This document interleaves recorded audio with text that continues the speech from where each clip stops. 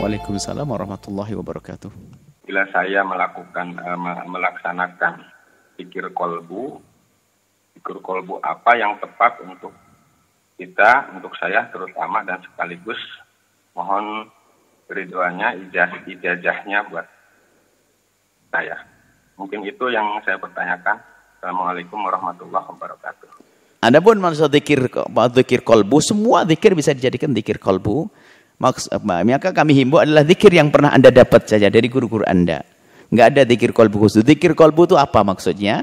Zikir kolbu adalah di samping. Zikir itu kan ada zikir bilisan. Mengajarkan subhanallah. Kolbu hadir hadir. Khusuk. Nah dia zikir bil arkan bil bil bil bil, bil, bil arkan dengan anggota tubuh kita. Zikir anggota tubuh kita apa? Tidak akan kita gunakan untuk mengambil yang haram. Pandangannya tidak melihat yang haram. Telinga tidak mendengar yang haram. Itu zikir anggota tubuh kita. Lesan kita mengucapkan. Hati kita ingat Allah. Takut kepada Allah. Itu zikir kalbu. Bukan zikir kalbu. Allah, Allah, Allah saja. Bukan itu. Rasa takut yang sudah ada di dalam hatinya. Yang sudah melembaga, mengakar di hati. Itulah zikir. Ingat terus kepada Allah. Itu maksudnya zikir kalbu. Memang di saat ada kita zikir dengan lesan kita ada kekhusuan, iya. Tapi jangan sampai bersama hilangnya zikir dengan lesan tapi hilang di hati enggak. Enggak begitu, tapi terus. Maka tadi kita bahas pada hari ini arifin billah dan ingat Allah. Jadi tidak melihat sesuatu kecuali ingat Allah. Jadi zikirnya tidak berhenti qiyam wa qu'ud ala junubihim.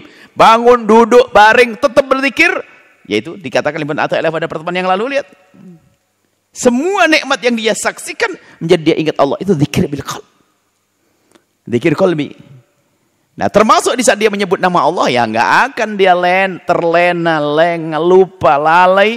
Di nama Allah dia sadar Allah, subhanallah, la Allah. Ingat Allah. Nah itu yang maksud zikir kolbu seperti itu. Jadi bukan hanya sekedar zikir kolbu itu zikir apa sih ya. Pokoknya membawa hati kita ingat kepada Allah itu. Terus ingat kepada Allah. Kalimat zikirnya apa pun yang kita baca.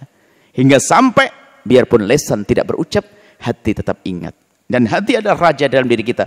Dia akan menghantar, dia akan menggerakkan semua anggota tubuh kita untuk kepada Allah. Lihat, matanya indah, sejuk, kalimatnya tutur katanya adalah membawa kepada kebaikan, tangannya untuk menolong orang, langkahnya menuju kemuliaan. Lihat, semuanya akan jadi baik karena apa?